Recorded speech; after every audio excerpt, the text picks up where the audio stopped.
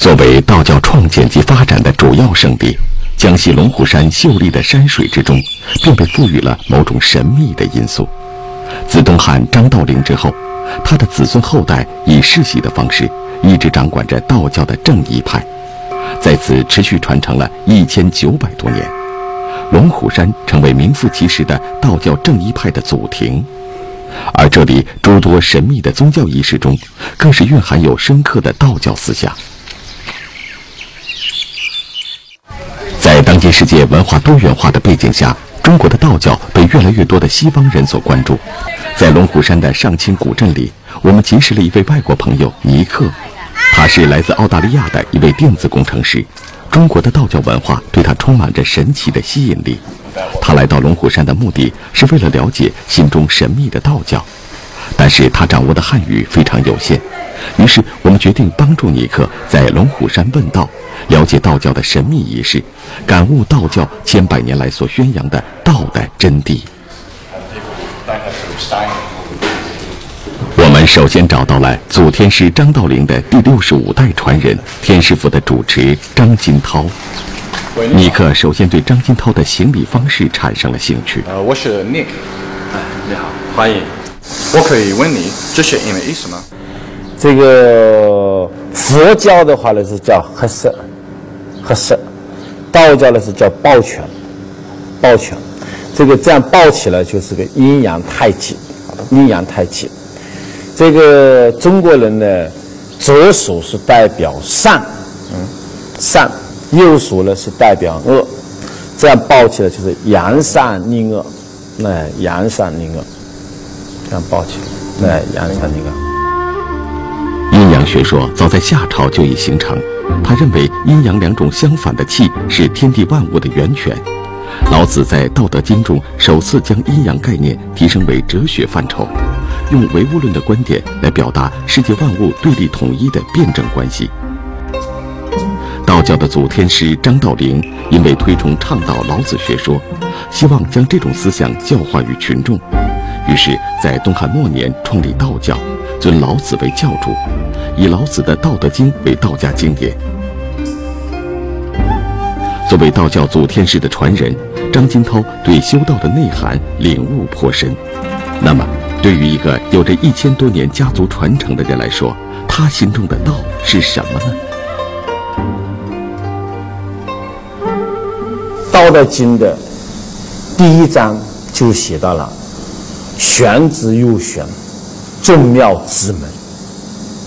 禅道是不可名的，之所以叫它道，老祖天呃老祖太上老君讲了，是强名，强名曰道。作为我们修道之人，体现在我们心上的道，就是德。我们一个人有没有德性，那就是你这人有没有道行。东汉张道陵祖天师在龙虎山立教，元代之前，正一天师道是道教的主要流派。宋末元初，山东临海的王重阳创立了全真派，他吸取了佛教的一些教理教义，讲究个人的修炼修持。而龙虎山的正一天师道统领着正一派，以福禄斋教见长，因而正一派也被称为福禄派。两大派别以自己不同的方式去修道，那么什么是福禄呢？正一派呢，那也就是天师天师派，它讲究的是福和禄。福呢，就是三十六天君通过一种特特定的一种符号，啊，把它固定在纸上也好，黄标纸上也好，这个就是有平安福，啊，这个镇宅符。呃，催生符，呃，霸王，呃，这个这个，呃，吼和符，等等。张金涛向我们介绍，今天的符箓种类繁多，而正一道中的符主要是以治病和抵御各种灾害为主要目的。而符箓的起源由来已久，《山海经》中有记载：东海有杜朔之山，上有大桃树，盘曲三千里。上有二神，一曰神荼，二曰郁垒。主月令众鬼之恶，害人者只以为所，而用似虎焉。后来皇帝据此立陶耿以当门户，驱鬼辟邪，写了祈福攘灾之词的陶耿，便是最原始的符箓。那么我们要了解的正一道中的寿禄又是怎么回事呢？禄呢，呃，有五个等级。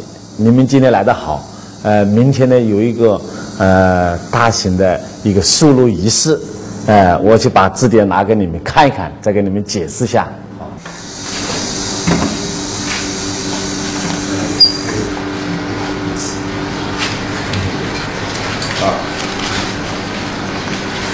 像这个路的话呢，它就是一个初级路，嗯，对吧？叫太上三五督公经路，初级路，初级路。咱们一共有一共有五个等级，哦五个等级啊，这是其中的初级路，是初速路，就属泰山三五督公经路。根据张金涛的解释，受禄对于天师道的道士是一个非常重要的修道环节。现在天师府每年都要举行一到两次大型的受禄仪式。那么，受禄对于天师道的道士来说，究竟意味着什么呢？道教的正一派就叫受禄，这个全真派佛教叫受戒。只有通过受了禄，你才能，它其实是一种那个宗教仪式，是一种仪规。只有通过受禄、受戒，你才能真正成为一个有知、有贤的道士。正一派修道之人，只有在龙虎山经过受禄之后，才能真正成为一名道士。而直牒就相当于一个证书，这个证书与我们平常见到的大不相同。那么，在这张证书上都有哪些特殊的内容呢？这是一颗印，嗯，这个印的话呢，那是叫合同印，合同印，合同印，合同印哦就是出数的时候，是输入的时候，它要分成两半，呃，另外一半的话呢，就已经的话呢，通过这个要上达天庭啊，嗯，那就烧掉，上达天庭，这一半的话呢，就要等百年之后，驾鹤仙妻的时候，再杀掉，烧掉。那这个金轮如意赵元帅麾下是什么意思？你出输入以后呢，他就规定了你只能是一个元帅，我们不给你一个元帅一个将，嗯，你只能是在招招神的时候呢，你才能招这么多神，有这么多天兵天将，嗯你在申诉的时候，那他又可以给你拨两个将或者是温元帅，道教的神仙谱系十分庞大。张道陵创教之初，将老子神化为太上老君，是道教最高主神。经过发展演变，太上老君被尊为道德天尊，与元始天尊和灵宝天尊并称为三清，形成道教的最高主神。而总领宇宙的主宰之君，则是我们熟悉的玉皇大帝。之后是成千上万的神仙，他们多在举行斋教法会时被恭请莅临。那么，既然道教以《道德经》这样的唯物论著作为经典，为何还要创造出如此众多的神仙呢？在天师府中，我们见到了鹰潭市宗教局局长夏维济，他对我们的问题做出了回答。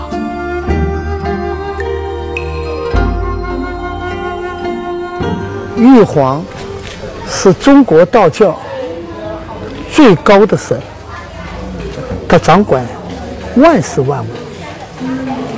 如果是从文化角度上来说，那他也就是自然界客观规律的总代表。他掌管着自然界的万事万物，推行的是天道。那么人间的皇上是什么？就是在自然规律的制约下，按照自然规律运行。在人间去推行人道，以天道来推人事，这是道家的一个基本的治国理念。根据夏维基的分析，道家要演变成道教，需要寻求思想的结合点，也就是把道家的哲学著作改造成道教的神学经典。为解决这个问题，张道陵和他的后代子孙撰写了《老子详尔注》一书。老子详尔注为把哲学演化成宗教，就将道解释为宇宙和人世间的主宰，塑造出人格化的太上老君教主，成为道教造神的理论依据。而修道之人必须在拜师入道三年以上，掌握这些教义经典，具备行持斋教科仪规范能力等一系列要求之后，才有资格受禄。而隆重的受禄仪式会是怎样的？难得一见的仪式上还会有哪些神秘的场面？我和尼克都充满着期待。传承千年的受禄仪式究竟是怎样的？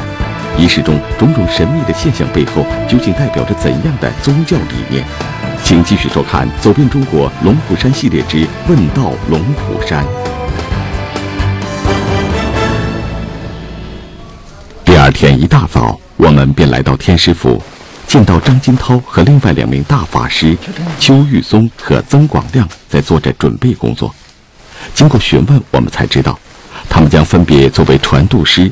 监度师和保举师主持受禄仪式，而他们身上华丽的道服首先引起了我们的兴趣。主持，您现在穿的这个法衣有一些讲究没有？呃，有讲究的。这个法医的，呃，这个是代表的话呢，这个主持这一场这个仪式的。那一个象征，那像这个法医的话呢，也有等级的，啊，有等级。呃，像我们穿的这个法医呢，是叫玉罗小台。你看这后面的话呢，这个，那这个后面的啊，玉罗小台，玉露小台，玉罗玉罗小台啊，那我都在喉咙。哦，您拿的这个是什么？您手里拿的这件法器是什么？是如意。如意。万事如意，万事如意啊！啊，这个就是需需要你们三位法师最大个、最大的、最大的、最大的。大师，大师。拿的。哦，哎，三大师手持着道教最高主神三清的如意，也就象征着他们是代表着道教至高无上的神来主持今天的受禄仪式。这个我们就要进去了，来这个到这个大师社里面，那到大师社里面等候呢，陆生啊，还有乐队的来恭请哦，来来恭请，哎，好。为了表示对大师的尊重，陆生们会在仪式开始之前去大师房中迎请三大师。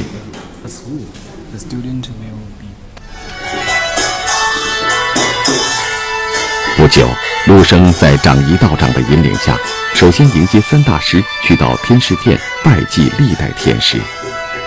众弟子恭请三大师主持传渡速入交仪。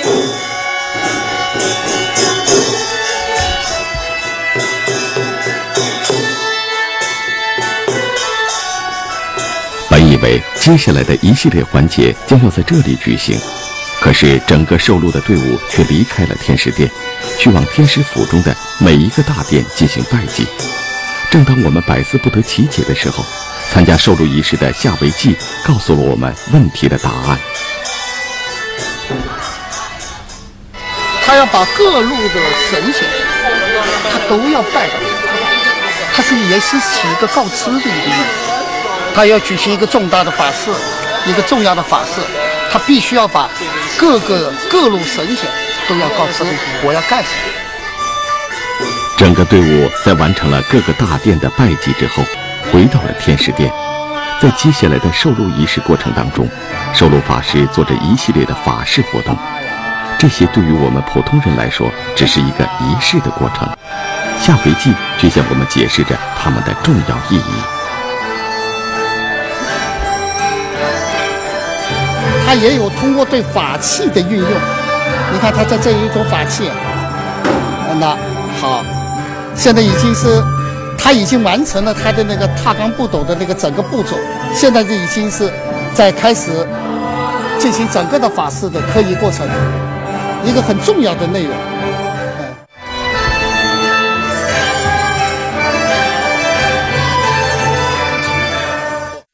I think he drank some tea and then spat it. Drink tea. Over here and then like this. Over this way. What did he do? What was he doing? 他说他喝一个那水吐一下，那什么意思？步伐。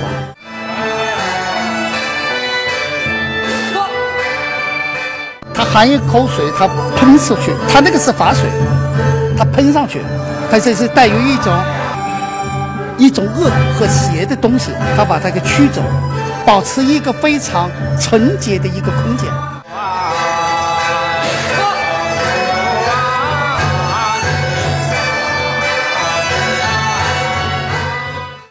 九天客栈实战的震惊，九天采访时。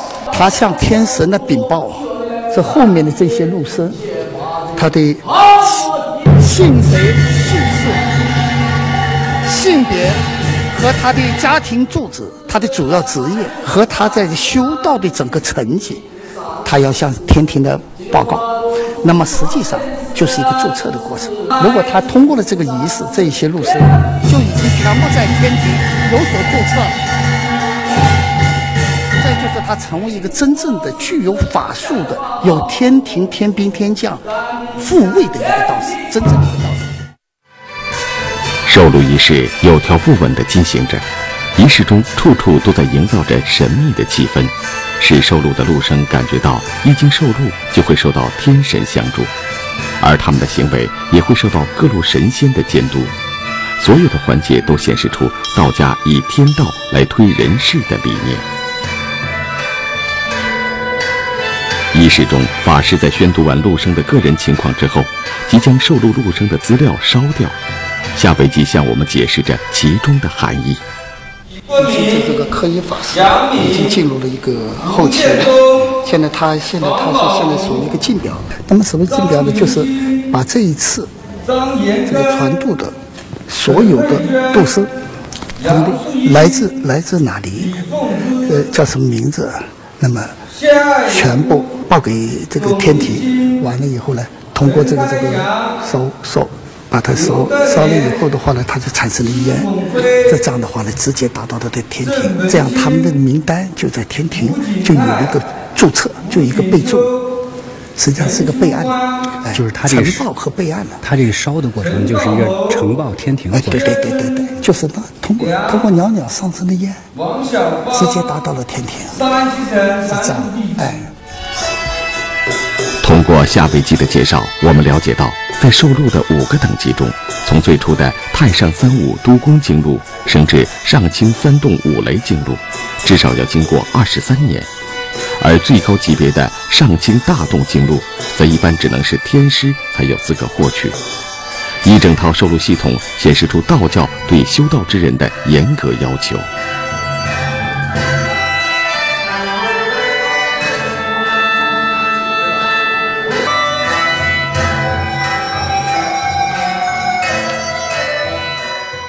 现在整个法事的话呢，已经进入了最后的这个阶段，也就是授受这个支牒了。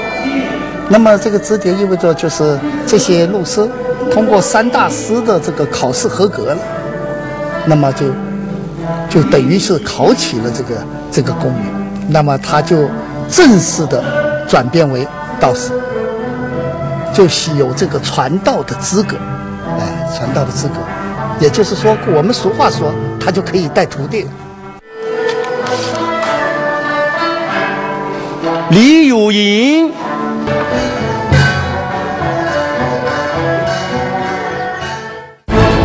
受禄禄生除了渡牒之外，还会得到哪些法器？它们有着什么样的功用？在目睹了道教传承上千年的神秘仪式之后，尼克是否能感受到蕴含在宗教仪式背后深刻的哲学思想？请继续收看《走遍中国龙虎山系列之问道龙虎山》。盛大而又精彩的受禄仪式结束之后，我们仍然感觉意犹未尽。优美的道教音乐仍然萦绕在耳边。重新走在天师府中时，感受到的是更加深刻的道教文化。可在尼克的心里仍然有一些疑问：受禄仪式中，大师向陆生颁发的不仅仅是禄牒，而且还有法器。这些法器都是些什么？它们又有着什么样的功用呢？带着疑问，我们又找到了主持张金涛。这叫令旗，终召万神之用。做做法师的时候要招神，终召万神。那这是叫令旗，这个是叫天，这个天房号令，这是招将用的。做法事的时候招将用的。招将，我看哎他那个天皇号令那面是什么？这是灵光啊，灵光，对，是一个什么灵啊，是一个正属三门的神，叫王灵官。这个是天门池，这个两呃两面的四四面的都是序号，这是序号。也是代表星辰的那个。对对，这个是做法事的时候的话呢，是这个降妖驱魔用的。在这个就是考古战、考古灭邪之用，就是这个这个是做做什么呢？做一些平安这个呃驱邪法事，哎，这要在人家头上要敲的考鬼啊。了解了这些法器之后，尼克提出，在受录仪式中看到法师在做法事时，脚上踏出了奇怪的步伐，而在他脚下，尼克看到了太极图。关于这个图形，尼克曾经在澳大利亚的一些资料上见过，并且有着自己的理解。We have this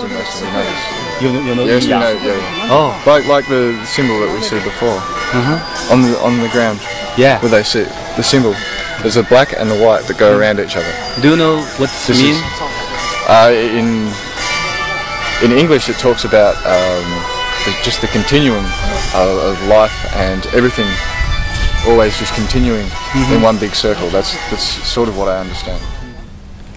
尼克对太极图的理解并不全面，但是他知道这是道教中道的根本所在。 这个看似简单的图形对他来说充满着神秘色彩。他想知道究竟什么是道。受禄仪式中，护法围绕着太极图所走出的奇怪步伐有何目的？跟太极图又有着怎样的关系？于是我们找到了受禄仪式中的法师汪小义。经过一番询问之后，我们了解到，原来这个步伐被称为刚步。刚布的话呢，它就是在以前叫鱼步，就大禹啊治水的时候，他像那个鸟找的那个步伐，他发现这个鸟找的步伐呢，能够呃翻动那个石头，那有这神力，就是我们道士话通过这个刚布呢，也能够通他神仙，通他那个天庭，所以这个刚布呢，在我们道教呢又叫鱼步。看来刚布跟太极图并没有直接的联系。为了弄清这个问题，我们又找到了夏维记。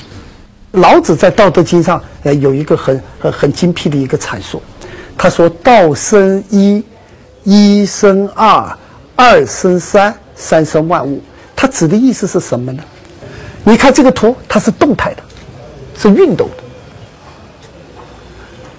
道生了一，一是什么？一就是一团混沌之气，一生二，就是产生了阴阳。但是他们的联系不是简单的联系，而是一种交合的状态，会产生一种什么样的变化呢？那么这种变化是从小到大的变化，但会不会绝对呢？它不绝对，达到了一个极点，就按照老子的话说，物极必反。到了一个极点，它就促进这个事物向它的反面来进行转化。从而推动事物的不断的向前的运作，这就是中国道家的一个朴素的一个自然观。听完夏维记对道的解释，尼克加深了对道的理解，同时也惊叹于道教将如此精深的哲学理论转化为一个庞大的宗教体系。虽然无法完全理解道教种种神秘的表象之下所蕴含的文化内涵，但是他希望在龙虎山能有更多的体会，去充分的了解中国道教的内涵和精髓。